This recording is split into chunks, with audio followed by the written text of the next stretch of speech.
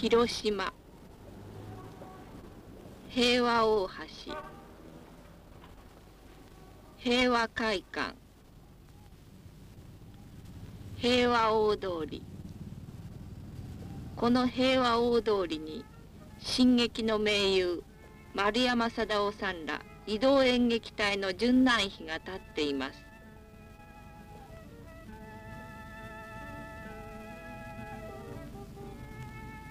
新地近くに産業奨励館の廃墟が残っています。スズメハトその他の野鳥が救っています。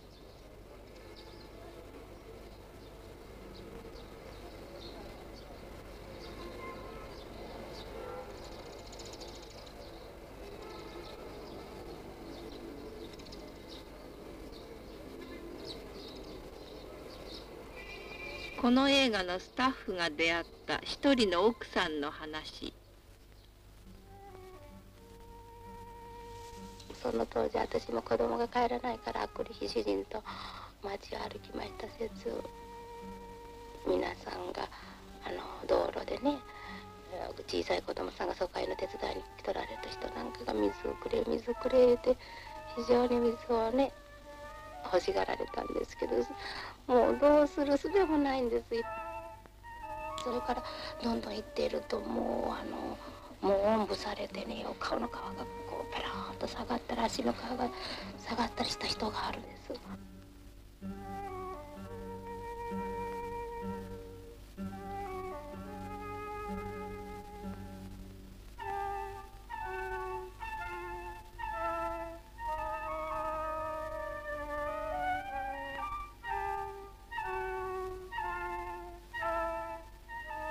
当時の日赤病院。髪の毛は抜け歯茎からは出血し下痢は止まらず医者もどうしていいのか分かりませんでした。負傷者は次々息を引き取って行きました。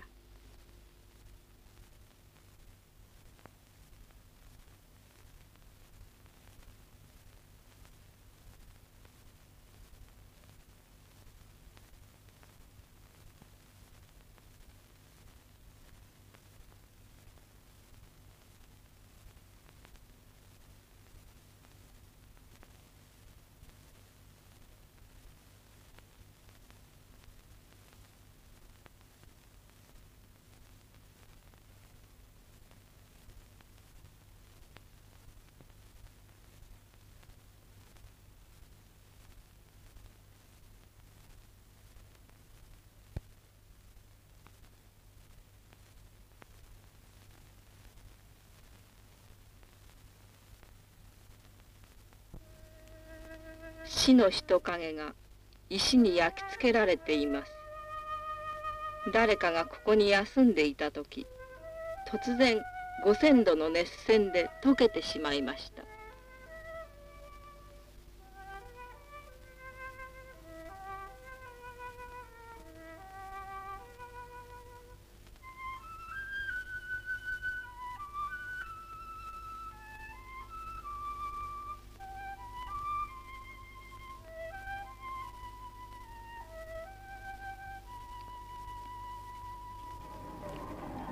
あれから10年。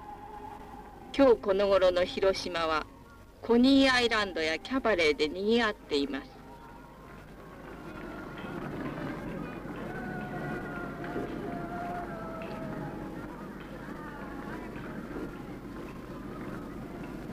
時たま傷跡が盛り上がっている。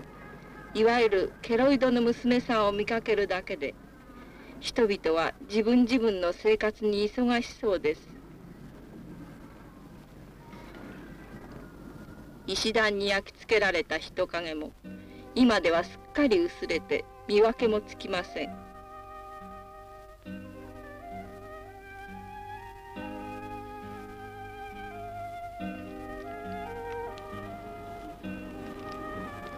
時の流れは全てを忘却の彼方に押し合ってしまうと言われています。そういえば日赤病院も今はきれいに改装されて片隅の一本の供養塔のほかはあれほどの惨劇の痕跡すらとどめておりません。だが一歩こうした病院や裏町の家の中に入った途端に時の流れも容易には解決できない原爆の非常な破壊の前にスタッフは立然としました。急性白血病の息子を見守って不安におののくお母さん。今までの成績では急性白血病は予後は非常に悪いものでしてまず完全治癒というようなことは全然望めない現状です。でどれほどま命を長引かすかということが一番の問題でして現在のところ根本的に治すような薬はまないわけなんです。現在ここに使っておりますのはプレジニソンという薬でありますがそれと輸血を併用しましてようやく証拠を得ております。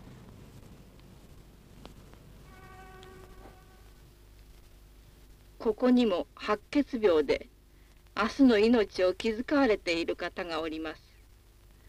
奥さんは広島駅前のマーケットで働きながら長い病床の夫に仕えています。全財産を失ったんです。これ財産の代わりにあなたの命が助かったんだと思ってねあなたが生きてくださっとるだけでもありがたいんですからもう365日毎日寝ていただいとっても生きてだけおってください言うてね。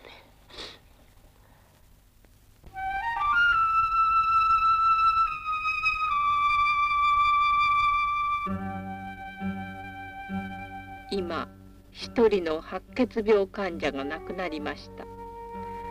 広島郊外で農業を営む浜城さんは直接原爆にあったわけではありませんが1週間後に軍馬の払い下げを受けに来て二晩野宿しました。それが10年後になってこんなことになってしまったとお兄さんは嘆いていました。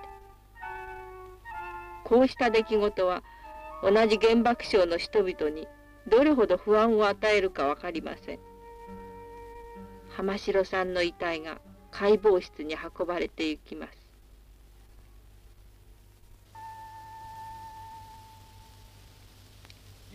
国新聞ニュースを申し上げます。両親を原爆で亡くした兄弟をおじいさんが男で一つで育て上げました。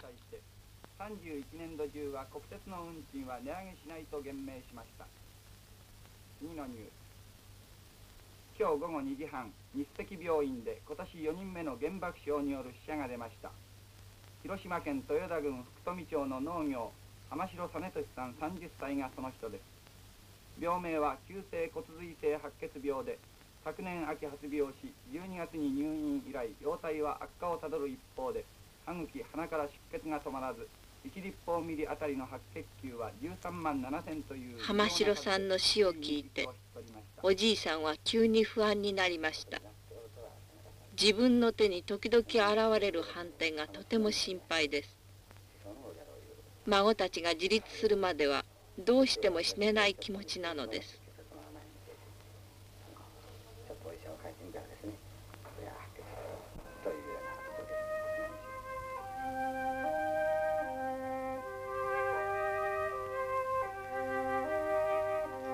変わり果てた息子を迎える浜城さんのお母さん。よう帰ってきた。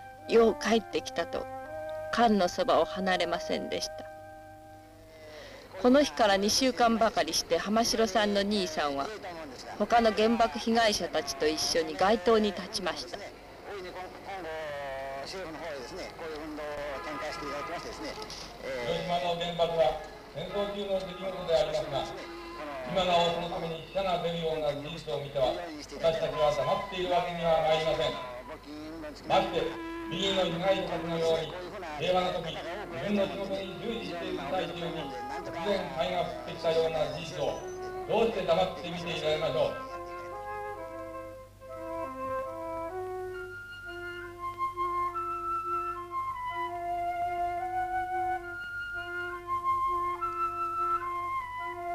死の灰。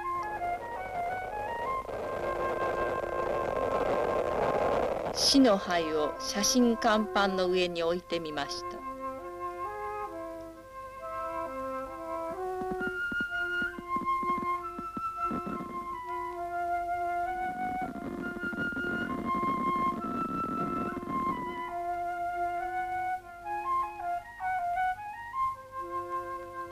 瀕死の久保山さん。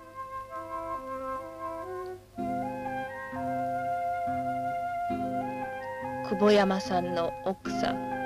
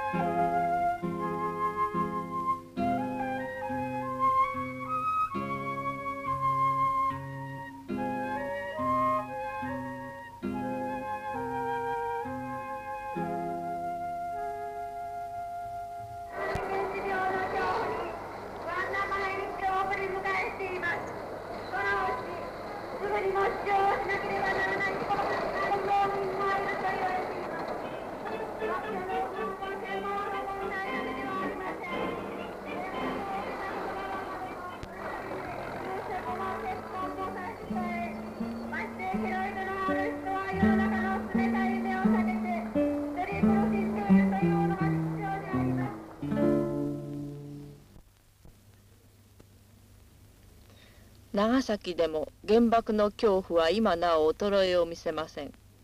自分では気がつかないで元気に通学していた13歳の少年が集団検診の結果白血病と分かりました。この子の両親は爆死して今はおばあさんに育てられています。白血球数の総数が38万8000っていうんですから大体普通の人の50倍ぐらいでございますね。赤血球の方は少し貧血がある、まあ、半分ぐらいですが普通の人の。将来のことの見通しなんかもちょっとはっきりは言えないと思うんですがやはりかなり重大なあれではないかと思っています。少年は勉強が遅れるから早く学校へ行きたいと言っています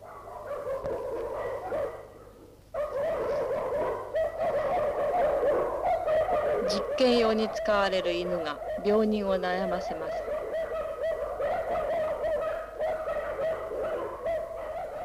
放射能から起きた脳胸で10年間患っている14歳の少女。脂肪ができてるらしいですね気管支とその脳胸との間がつながってるらしいんですでその脳は今のところ外にも穴が開いて出ていきますけどこう気管を通って口からも出るんです。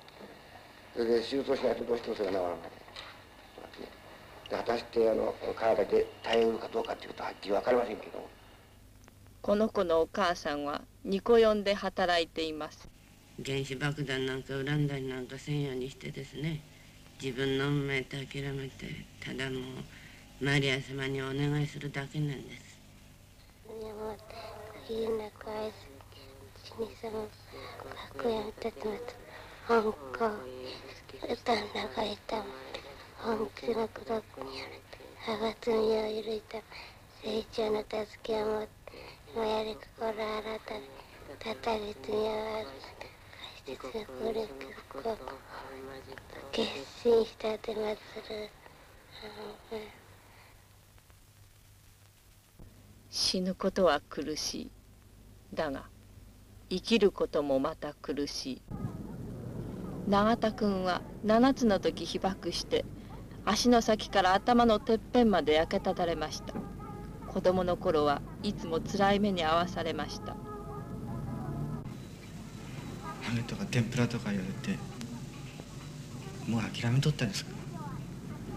だが永田君が一番辛い思いをしたのは中学を卒業して広島のある会社の就職試験を受けた時です。頭の傷で落とされました永田君はお姉さんに励まされて思い切って整形手術を受けることにしました。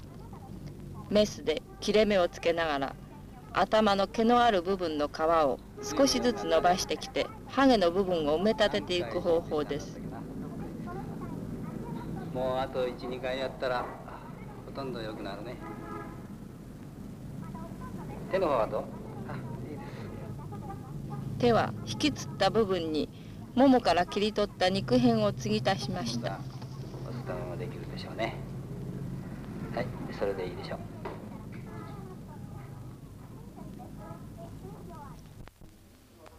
被爆者の会の事務所にある小さなお風呂も体にケロイドを負わされた女の人たちにとっては心置きない憩いの場所です。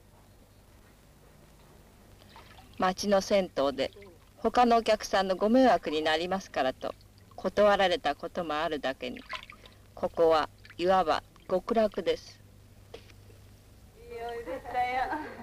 また母ちゃん歌ってよ今それは女が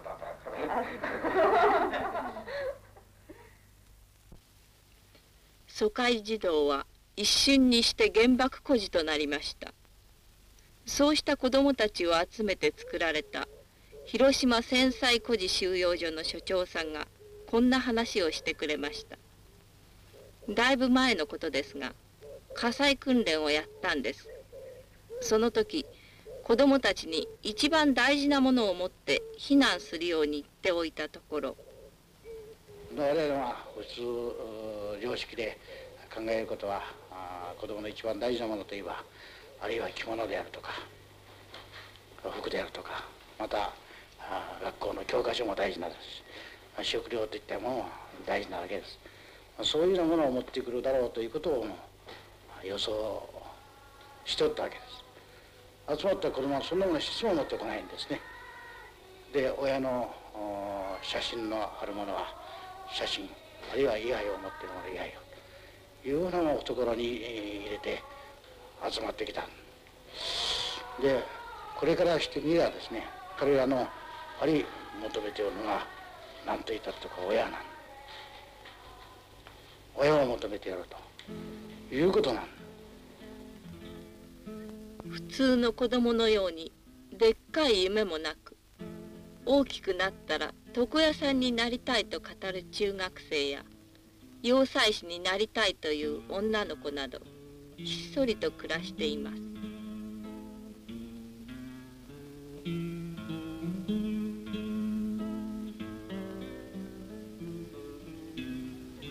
母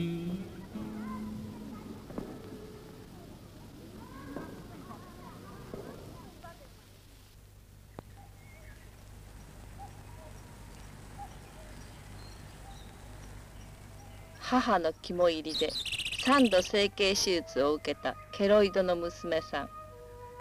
亡くなったはずのケロイドはやはり切り取った下からまたケロイドが生まれてきて日が経てばやはり引きつってとうとうケロイドも治らなくなって顔はもうこのままでもと思って諦めてしまいました。朝出勤のたびに娘の手の傷を隠してやる母の気持ち。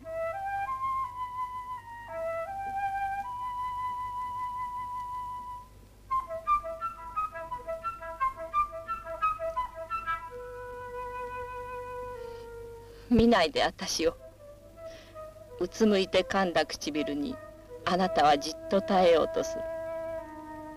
人混みの無遠慮な視線の中に涙ぐむ。一瞬エスプリのように脳裏をかすめる閃光あああの日。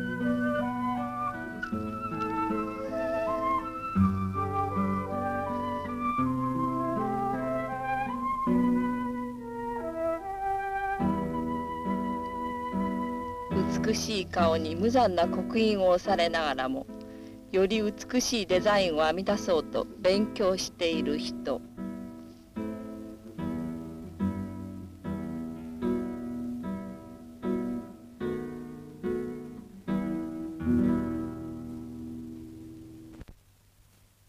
深田さんは上海で事業をやってましたが一応成功したので先祖の墓参りにやってきた時広島駅で被爆しました。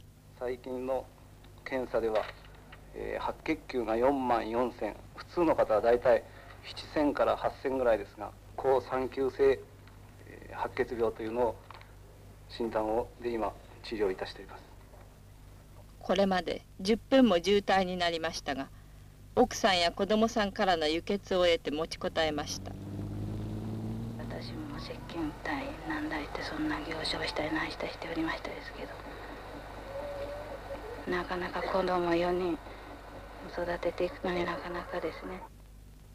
奥さんの郷里長崎市街の知り合いの納屋を借りてます。行くところなしにここに今お世話になったような島です。家をやっぱ移ってきてからですねなんだかもうこう悲願だようにですね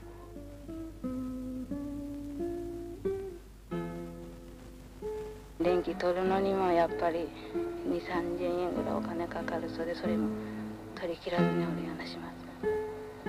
夜もこうランプをこう使っておりますけど危ないのでそう長くも使えませんし子供が勉強するのにももう非常にも困っても成績もうんと下がってなんとかしてやらねえかんと思っている。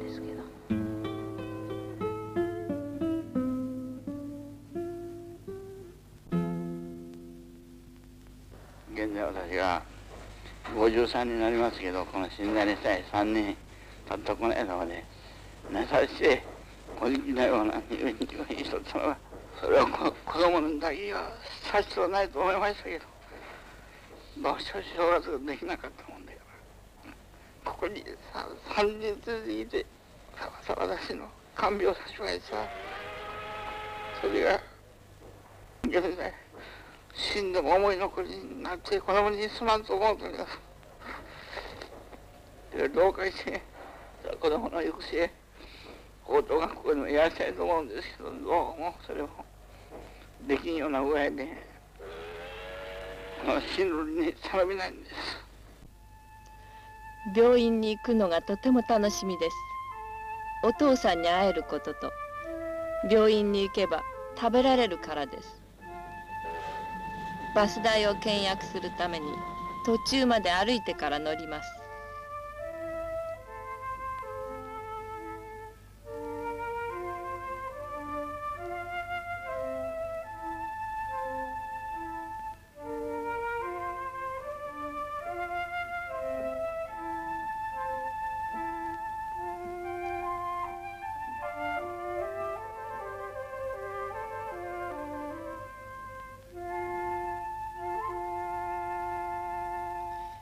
院の掃除婦山口さんや炊事のおばさんたちが残飯を運んできてやります。私にご飯を腹いっぱい食べさせてどうとか承知を取りたいとかなんとかっておっしゃるとですねやっぱし女に被爆者でですね自分たちがあんな苦しい時に助けてもらった時に本当忘れることができなかったからと思ってですね、まあ、これ持っていって子供さんにあげてくださいっつってやったんですよ。ある時深田さんは山口さんにそれとなく一家心中を打ち明けたことがあります。もう一層ですね。こんな苦しむよりももう死んだ方がましっておっしゃるんですよね。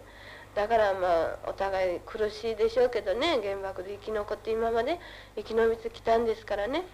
世間の人も分かってくださる時があるでしょうからですね。もう少し元気を出して生きていきましょうやって言って、まあ、励ましてたんですけどね。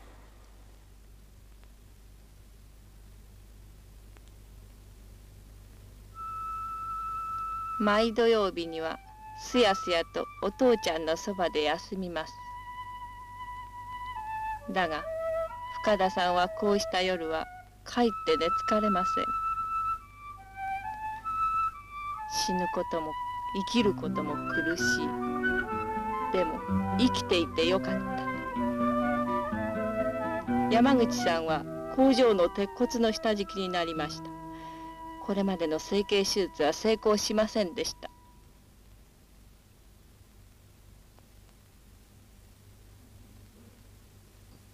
続いて長崎の被爆者代表原爆乙女の会を主催しておられる山口美佐子さんにおいでお願います。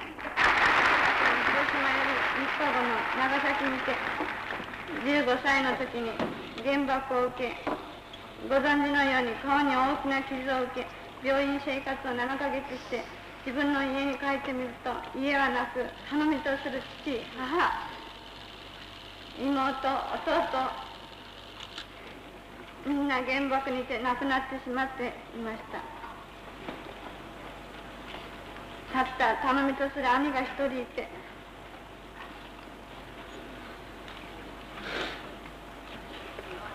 この10年間という苦しい長い年月皆さんに分かっていただける。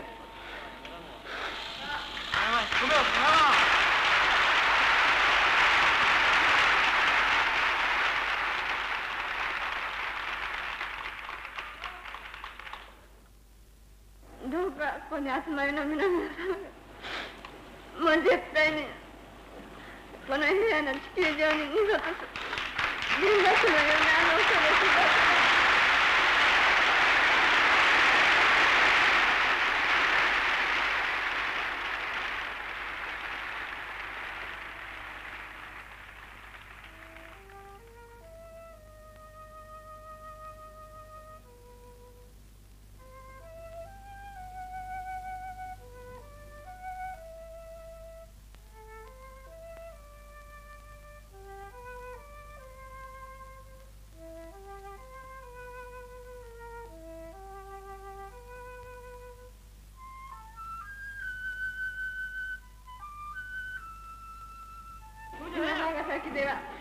原爆のために自分の自由を失わされ失われこの10年間という長い月お母さんと2人で暮らしていらっしゃる方もございます。その方たちなんか明日お母さんが亡くなられたら今後どうして生きて生きようか。そんなことを考えると今のうちに死んでしまいたいとおっしゃってます。でも私たちが今死んでもこの原爆という恐ろしいことを世界中の人に誰が知らせてくれるんです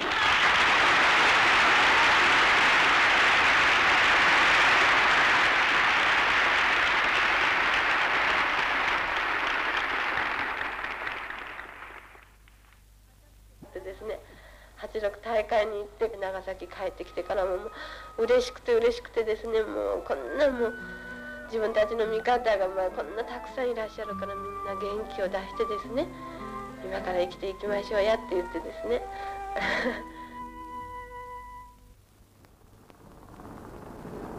両親もなく身寄りもない盲目の孤児たちを育てている広島明生園。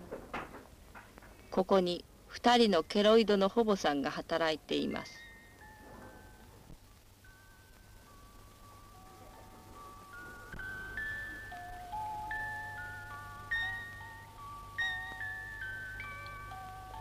両親の記憶すら持たないこの5つの盲目の子は一日中オルゴールから離れようとしません。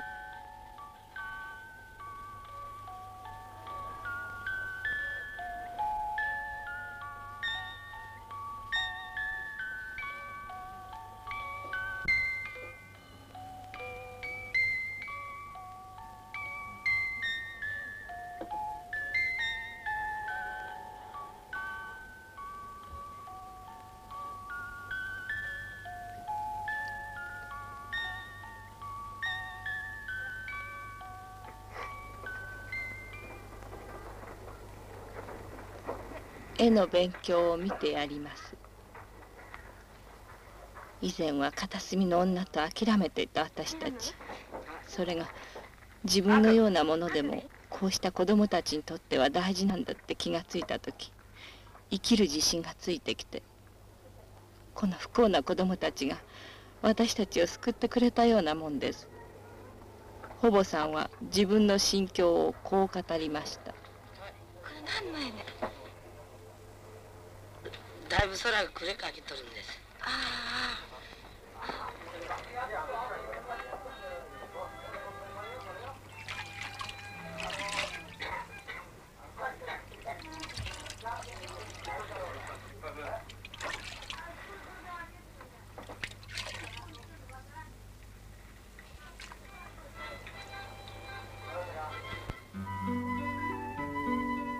ある日ピクニックに出かけました。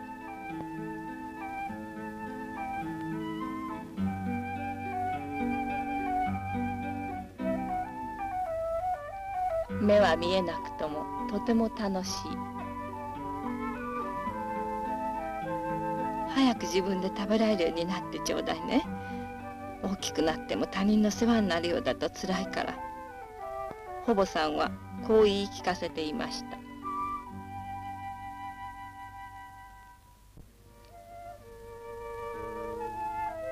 学校の弁論大会に出るため演説の稽古をしている盲目の少女福富清子ちゃん。原爆が落ちた時私は4つでした。私はお友達とお人形で遊んでいました。ピカッと光った途端に私は壁土に埋まってしまいました。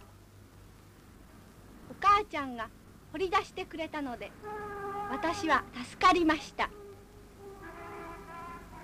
家が焼けてきたのでお母ちゃんと私はお大師河原に避難しました。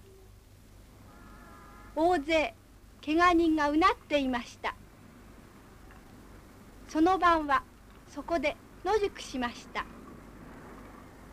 翌朝目を覚ましますとその時私は目が見えないようと言って泣いたそうです。私の目が見えなくなったのは夜眠っている間だったのです。朝太陽が昇っても私の目は暗闇だったのです。それっきり私の目の窓は固く閉ざされて二度と開くことがなかったのです。私の見たものの中で覚えているのはお母ちゃんの口の下にあるほくろだけです。今私は盲学校に通っておことを習っています。大きくなったらおことの先生になってお母ちゃんと楽しく暮らしたいと思っています。また世界には立派な科学者や政治家がいるそうですからそういう人の集まるところへ行って原爆のようなものを作らないようにお願いしたいと思います。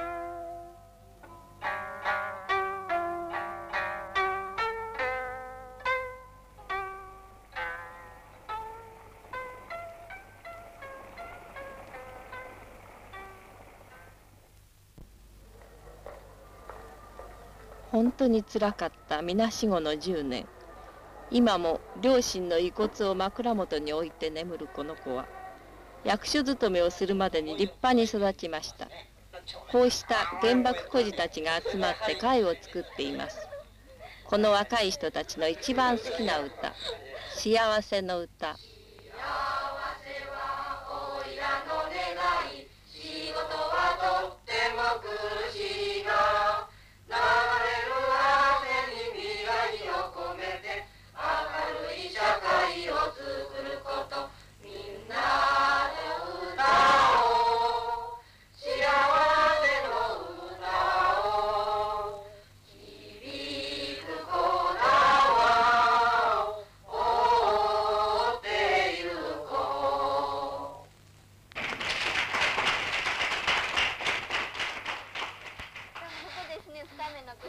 崎の原爆乙女の会では早く独り立ちをしなければと編み物の講習に精出しています。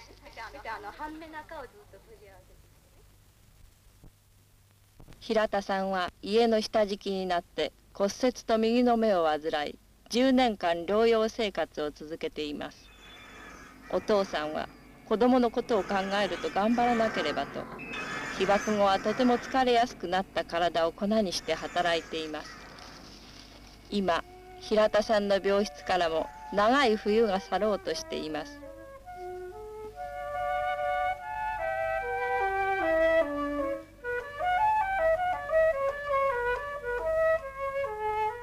バラの赤い目にも心惹かれる今日この頃です。広島元帥卿が平田さんにコルセットを送ったので歩く稽古を始めました。女学校時代の旧友が平田さんを激励に来ました。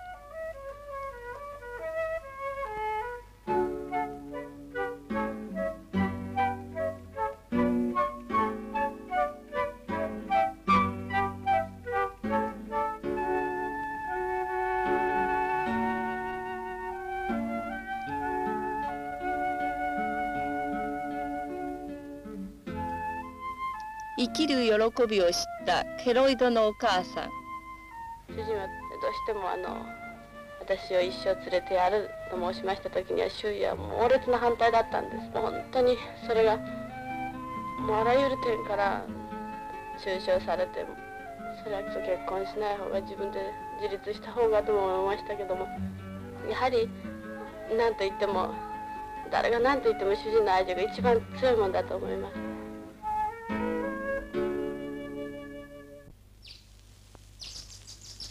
渡辺さんは16の時工場で鉄骨の下敷きになり骨折と同時に神経が切れたため足には全く感覚がありません。一度入院しましたが。手の施しがないとそこでも言われるわけなんですね。それでまあ床ずれだけをですね直していただいてそして我が家へ帰ってきたんです。それっきりまあ10年間出たことがないわけなんですよね。長崎で生まれ長崎で育ってですね。現在の長崎の状況を知らないわけなんです。こうした渡辺さんの心の太陽となったのは去年の86大会でした。86大会がございましたね。それによってますますその被爆者に対してのね深い関心があるっていうことを私は知ったわけなんですね。それまでは社会は冷たいものだとばかりに思って暮らしてまいりましたけれどもね。まあその時に初めて心から反省したわけなんですよね。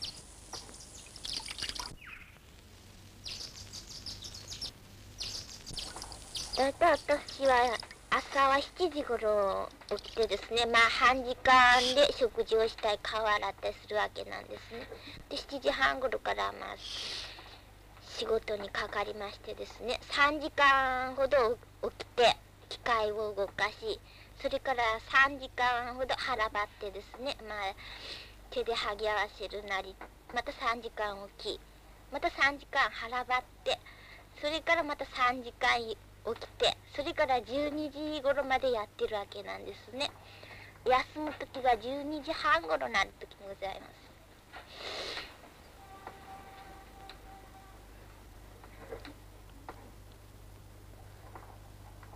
お母さんは小さな下駄のお店をやりながら弟さんを大学に上げています。渡辺さんはこの弟さんに学習を送って夫も長男も原爆で奪われたお母さんを少しでも助けてあげたいのです。まあ、母の看護があったればこそねこうしてね10年間生きながらえてね今希望に満ちたね生活をね送ることができていますからね。それは私としては忘れることできません。でもね誰のためにこうしてね生まれもつかぬ不具者になったんだろうかと思う時ね。まもなく今日の放送も終了の時刻。ごきげんよろしゅうおや。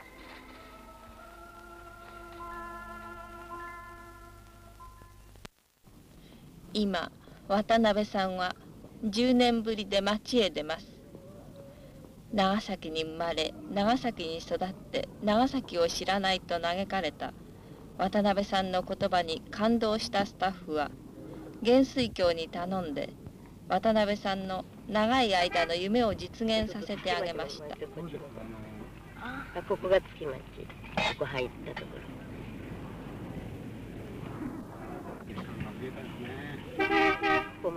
あらまだ。こ映画か、もんぺ姿だった。あの当時しか知らない渡辺さんは目を見張るばかりでした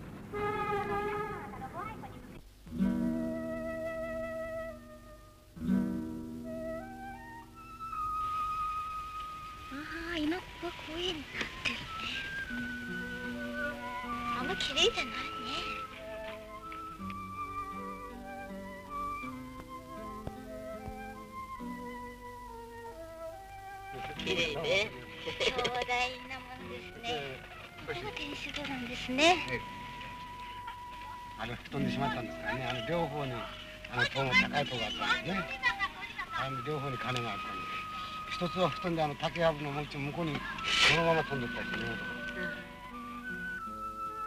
爆風で片方の柱が吹き飛ばされた鳥。居平和の乙女の日。原爆の日。世界平和を祈りつつ昇天せる。情勢公女の乙女らを記念して。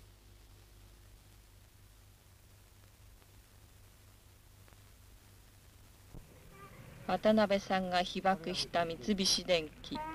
あなたどこ？私本館の方よ。本館の本館が綺麗になっていますよ今。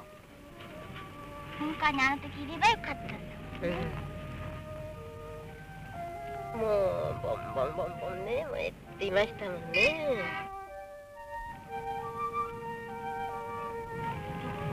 ちょうどその辺でですね。子供死んでいました兄さんの亡くなった場所、これがこう高く防塀になっていましたとです。ねそれが向こうさんにたわれたもんですから向こうで陣を取っていって。それでもなかなかわからないんですもんね。ちょうどこの辺だったね。この辺だ。ったちょうどその辺でね。あの人引きなったですね。2ヶ月目に分かりましたね、死体。私たち何から何らかの保証がね、まだ全然されてないのにね、ああいう文化を作る必要はないと思うんですね、私なんか。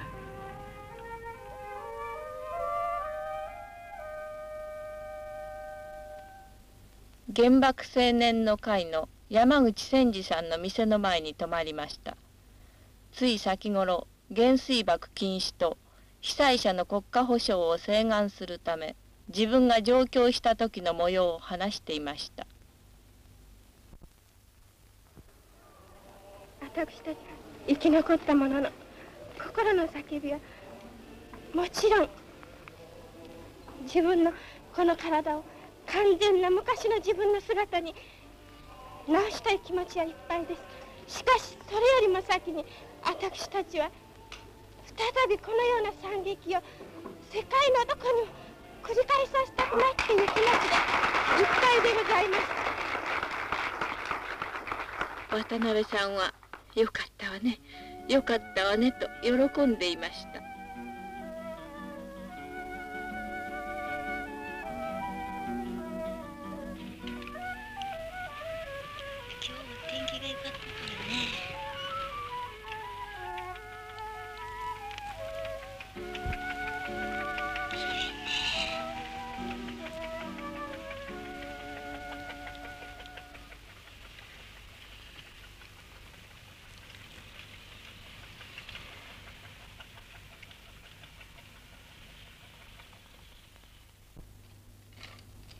町は焼かれ夫は奪われ顔を傷つけられながらも爆心地を美しい公園に変えるために黙って働き続けるニコヨンのおばさんたち。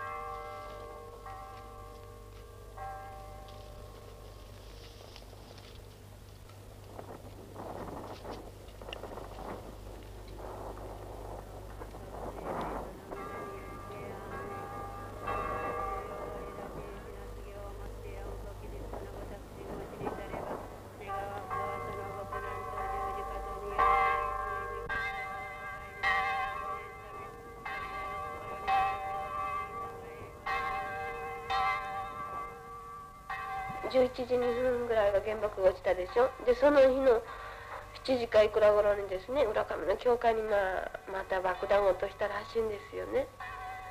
そしたらですねもう浦上地帯みんなカトリック地帯でしょ。だからですね浦上のあのみんな信者生き残った信者がですね神様がいらしたらですね教会なんかにその爆弾をまた後で来て落とさないはずって神様がいない証拠って言ってですね原爆当時はもう教会にも誰にどこどこにもその行く人がいなかったんだそうですよね。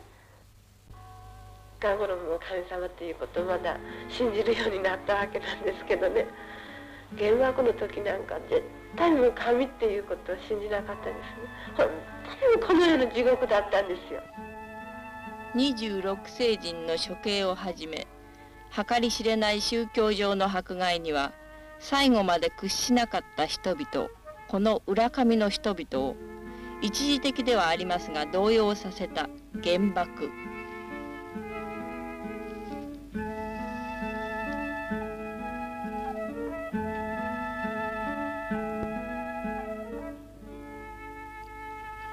ニコヨンのお母さんの帰りを待ちわびる少女。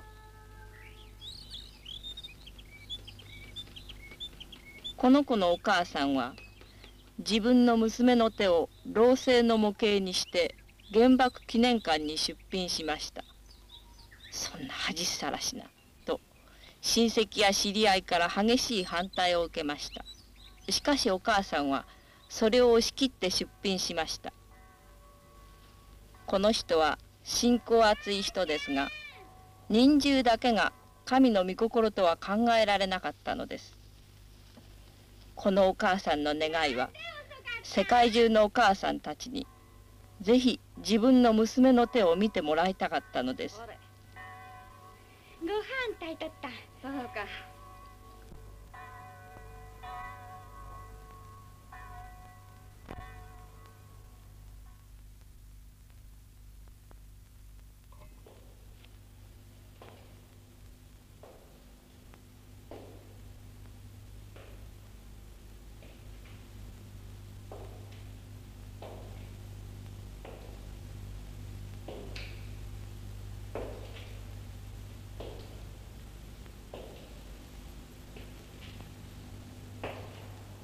It is a terrible thing that this had to happen."